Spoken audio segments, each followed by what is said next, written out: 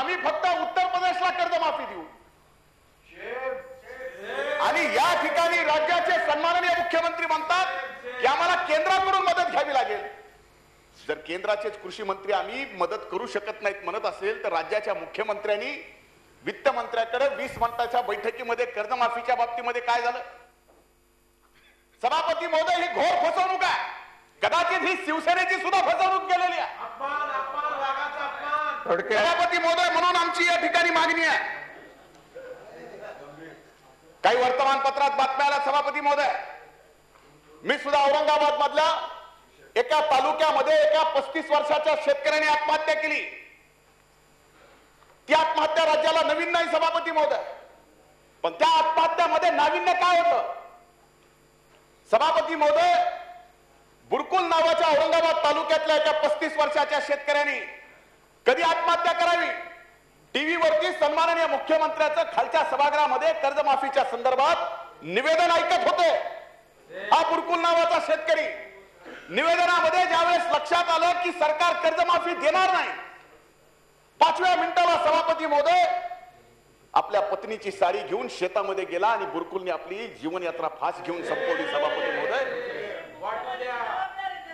सभापती महोदय त्याच्यावरती फायनान्सचं कर्ज आहे. ज्या सावकाराची हे सरकार बाजू घेत आहे सभापती महोदय थोडक्यात त्या- थोडक्यात आहे सभापती महोदय.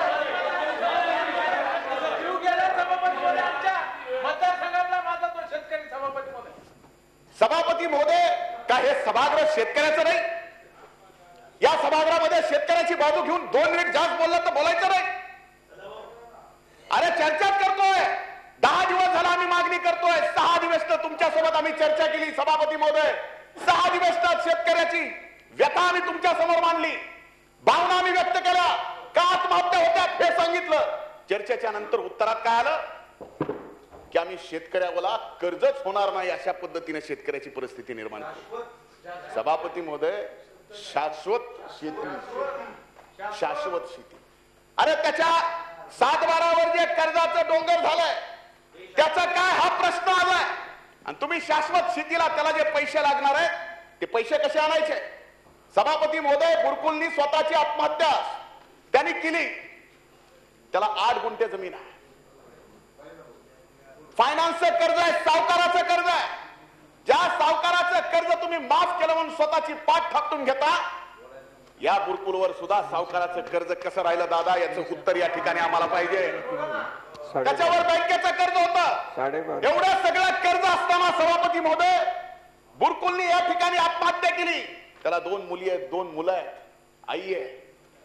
आणि त्याच्यानंतर माध्यमांनी त्याच्या आईला विचारलं पोलिसला स्टेटमेंट दिलं की सन्माननीय राज्याच्या मुख्यमंत्र्याचं निवेदन ऐकलं. निवेदनामध्ये कर्जाची भूमिका सरकार आणणार नाही. हे ऐकल्यानंतर सभापती महोदय बोरकुलने आत्महत्या केली. अरे तुमच्या निवेदनावर सुद्धा राज्यातल्या शेतकऱ्यांची आता विश्वास या ठिकाणी उरलेला नाही.